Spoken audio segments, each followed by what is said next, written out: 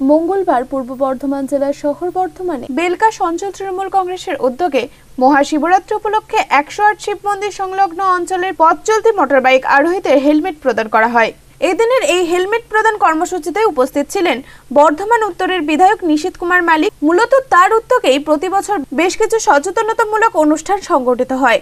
এবারেও মানুষকে সচেতন করতে এই হেলমেট প্রদান কর্মসূচি করা হয়েছে বলে জানান নিশীত মালিক। এদিনের এই কর্মসূচিতে অন্যান্যদের মধ্যে উপস্থিত ছিলেন বর্ধমান শহর তৃণমূল কংগ্রেসের সভাপতি অরূপ দাস, বর্ধমান উন্নয়ন পর্ষদের চেয়ারম্যান কাকুলি গুপ্ততা, মহেন্দ্র সিং সালুজার সহ বিশিষ্ট ব্যক্তিবর্গ।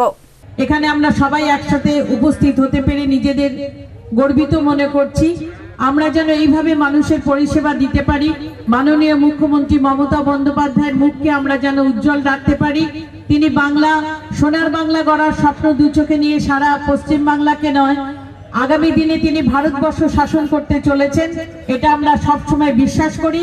এবং মমতা বন্দ্যোপাধ্যায় সবসময় মানুষের পাশে দাঁড়িয়ে অ্যাক্সিডেন্টকে রোকার জন্য সেফ ড্রাইভ সেভ লাইফ যে চালু করেছিলেন আজকে এখানকার যারা করছেন তাদের আমি অন্তরের অন্তঃস্থল থেকে কৃতজ্ঞতা জানাই। তখনই সেফ ড্রাইভ সেভ লাইফ সম্বন্ধে অনেকক্ষণ বলল। এদিন এই কর্মসূচি থেকে প্রায় একশো জনকে হেলমেট প্রদান করা হয়।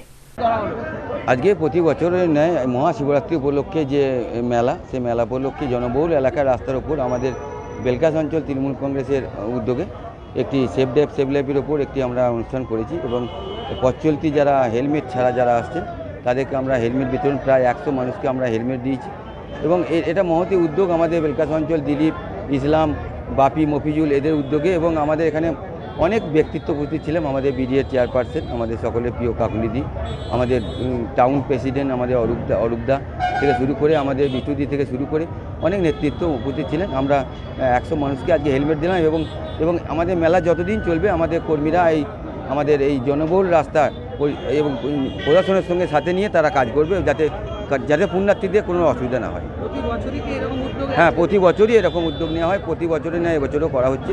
যেহেতু দু বছর করোনার পর জন্য এবছর মেলাটা আবার ভালো করে হচ্ছে সেই জন্য এবছর আমাদের ক্যাম্পগুলো ভালো করে করা হয়েছে যাতে মানুষ যাতে আমাদের তৃণমূল কংগ্রেস সৈনিকরা রাস্তায় আছে তারা প্রশাসনের সঙ্গে সহযোগিতা করে রাস্তা যাতে কোনো কোনো পুণ্যার্থী কোনো অসুবিধা না হয়, সে ব্যাপারে যথেষ্ট উদ্যোগ হয়ে তারা বর্ধমান থেকে পিন্টু প্যাটেলের রিপোর্ট, আনন্দ বার্তা।